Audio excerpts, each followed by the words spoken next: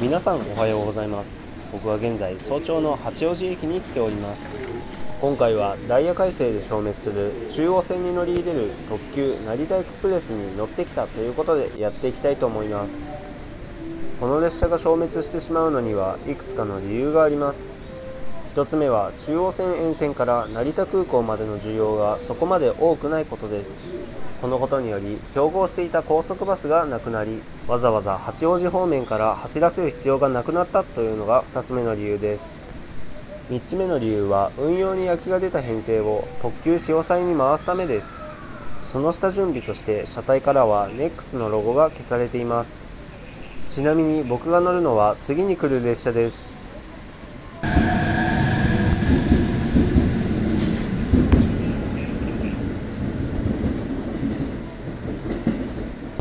6時27分発の成田エクスプレスに乗車します。こちらが本日の特急券です。一応1ヶ月前に取りました。数を減らしてきている旧塗装が来ました。この塗装も間もなく見納めになりそうですね。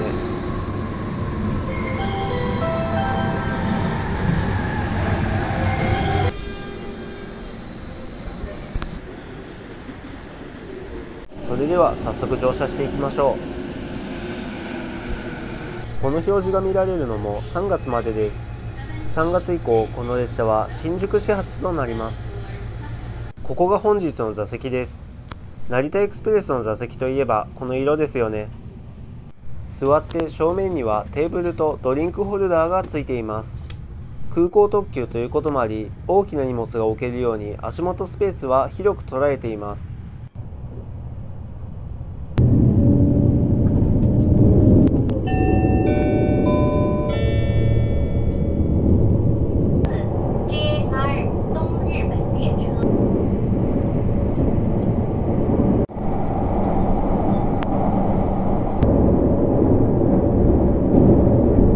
1つ目の停車駅である立川に到着です。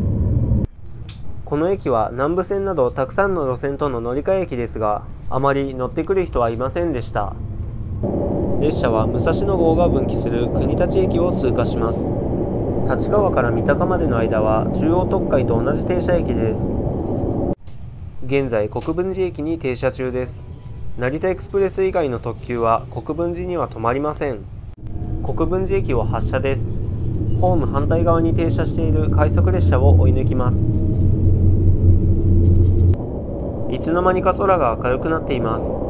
現在通過しているのは武蔵境駅です。この駅では他の西部の路線にはつながっていない西武玉川線に乗り換えることができます。現在見えているのは三鷹車両センターです。東西線直通用の E231 系が止まっています。三鷹駅に到着です。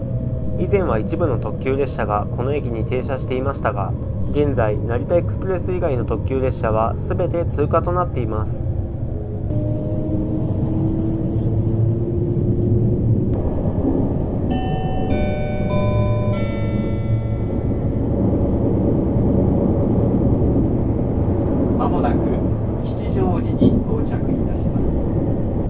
列車は中央特快が通過する吉祥寺駅に停車します。この駅では京王井の頭線に乗り換えることができます。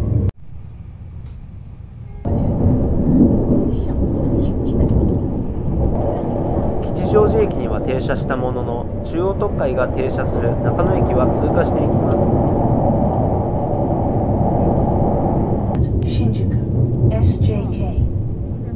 まもなく新宿駅に到着です現在この列車は中央線と湘南新宿ラインの間の線路を走行しています。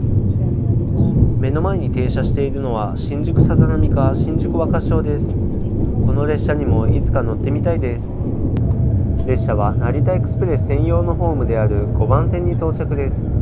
乗降客数世界1位の駅ということもありホームにはスーツケースを持ち列車を待つ人がたくさんいます。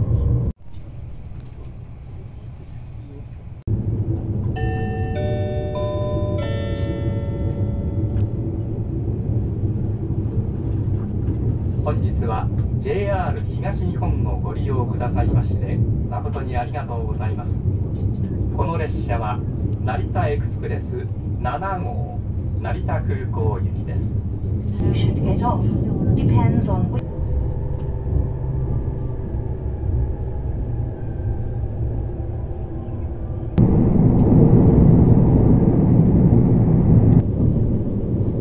通過している駅は大崎駅です現在走行している山手貨物線には大崎駅のホームがありません。今通っているこの線路は山手貨物線と名乗っていますが現在この線路を通って品川方面に抜ける定期貨物列車は設定されてなかったはずです。そのため実質成田エクスプレス専用線となっています。あちらからは東海道新幹線と横須賀線がやってきました。もうしばらくすると横須賀線の線路と合流します。今横須賀線に合流したと思われます。この列車は品川駅には止まりません。東海道新幹線ののぞみが全て停車する駅を通過するのは新線です。ではなぜ停車しないのかというとすぐ前を走る大船方面からの成田エクスプレスが品川駅に停車するからです。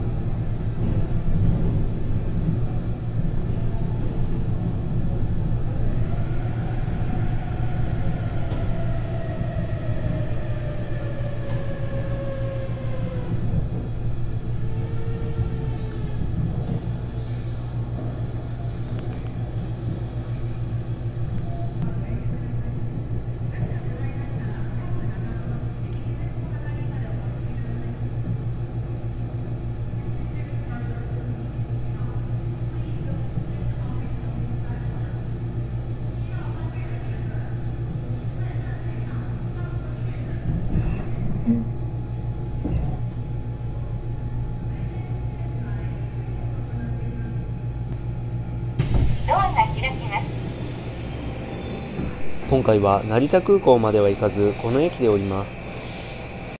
今回は中央線直通の成田エクスプレスに乗ってきたということでやってまいりましたがいかがでしたか？停車駅も若干変わっていて面白いですよね。それでは今乗ってきた列車を見送って動画を終わりたいと思います。ここまでのご視聴ありがとうございました。